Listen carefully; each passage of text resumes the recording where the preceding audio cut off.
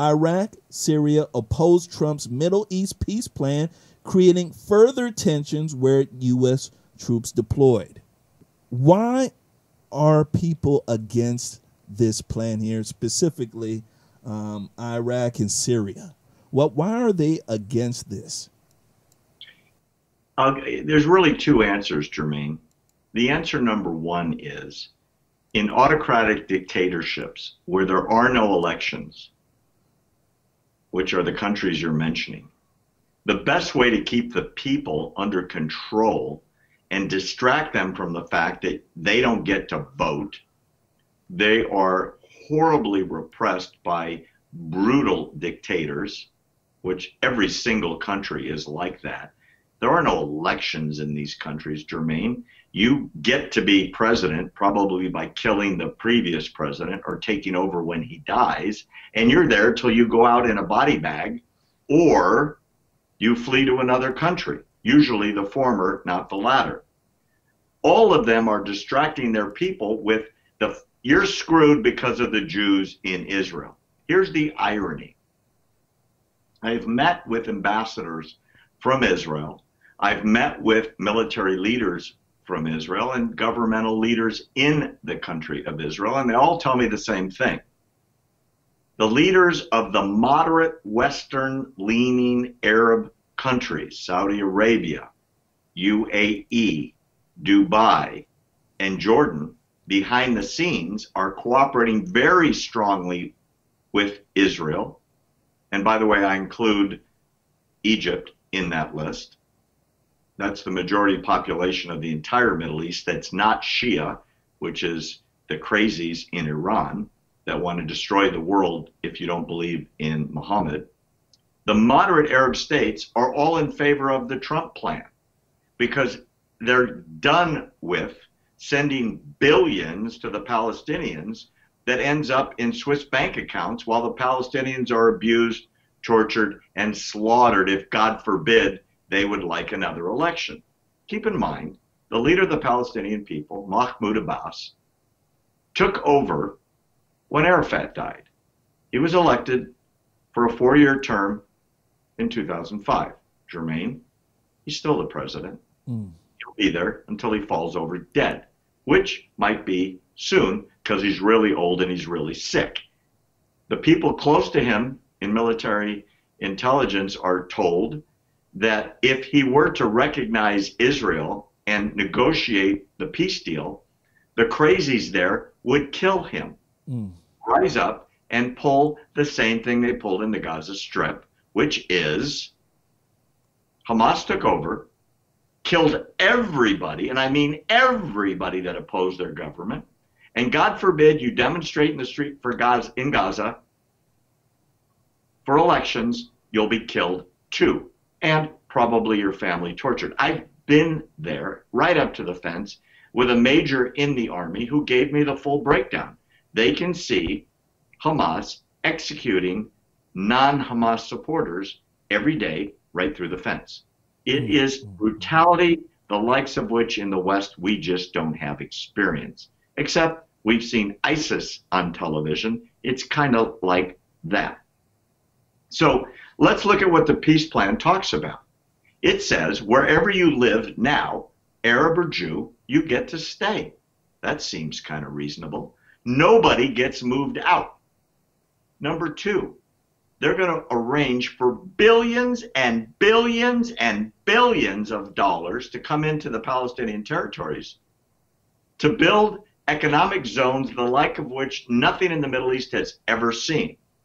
Number three, Jerusalem is the capital of the Jewish people for 3,000 years. The entire Bible mentions Jerusalem almost every chapter and verse. Do you know how many times it's mentioned in the Quran? Mm. Zero. Why? It's not part of their religion. It has become it in the last century because the politics demanded that so they could drive out the infidel invaders. Mm. It's about property and land control, not religion. Okay? So when you talk about who gets to control the territories, well, I've been on the Golan Heights, all over the Golan Heights. It was Jewish territory. The Israelis liberated in 1967 largely because Syria used to sit up there with mortars and cannons and tanks and lob shells down into the Galilee. I'm sure you're familiar with that, where Jesus yep. was, and kill farmers and blow them off their tractors and high five each other. Israel will never give back the Golan. They annexed it in the West Bank, which is Judea and Samaria, the ancestral home of the Jewish people, where Abraham was, where Isaac was, where Jacob was, where the matriarchs were, there are towns, and those towns will remain. And where the Arabs are, those will remain.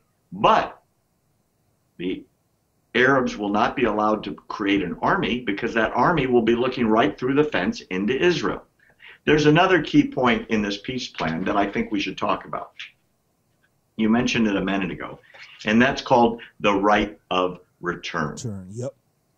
What that means is in 1948, a number of Arabs who were living in the Palestinian territories, because up till 1948 it was called Palestine, and they had a flag and it was a Jewish star on it, and everything was called Palestine, which was a Roman name for the Philistines who had conquered the Jews 2,000 years ago. And the Romans called it that to wipe out the Jewish connection. They were being insulting, and the name stuck, unfortunately. So obviously, the Jews changed it, and the Palestinians loved it. So that's why they adopted it. So in 1948, all the Arab armies told the Arabs living in Israel, We are invading, we're going to kill all the Jews, run away, and you can come back in a couple of weeks and you can take their houses and their factories and their farms because they'll all be dead. Well, several hundred thousand left, fled to Arab countries, and Israel disappointed them because they didn't lose, they won, and there was peace. So the Arabs got stuck in refugee camps, and the Jews that were forced out of all the Arab countries were not allowed back to their country. They had to stay in Israel. Mm and be absorbed and became Israeli citizens and learned the language. And they were all broke because they ran out of Iraq and Iran and Lebanon and Syria and Egypt and Jordan and all the places, Yemen, where they'd lived for generations. And they were all driven out by the Arabs in those countries. The Jews told the Arabs they can come back, unlike the Arabs telling the Jews you can't come back, but most didn't. They've been in refugee camps ever since. And those hundreds of thousands have turned into millions and millions and millions. So, in the history of the world, there's never been a refugee camp that has residents for more than a generation. Now we're three to four generations later, and there's millions. And Israel says, You can't come back. We won't be a Jewish state anymore. the Palestinians are pushing for it. And Trump said, Hey, it's never happened in world history. It's not going to happen now. No more right of return. That's absurd. So those are the key parts of the plan. Billions in investment. Israel keeps Jerusalem undivided as its capital. It keeps the Golan Heights, which it conquered in 67 in a defensive war. And it keeps the property on the West Bank, where Jews are living, in property that they bought from Arabs and built little towns. And where the Arabs are, they stay. Now, you'd think with the billions and billions that are being offered, the Palestinians would jump all over it. Well, ironically, Jermain, many Palestinians in the West Bank are in favor of it, but their leadership isn't because their leadership has been skimming for generations. When Yasser Arafat died, he was worth several billion dollars. He'd stolen all the aid for 25 years.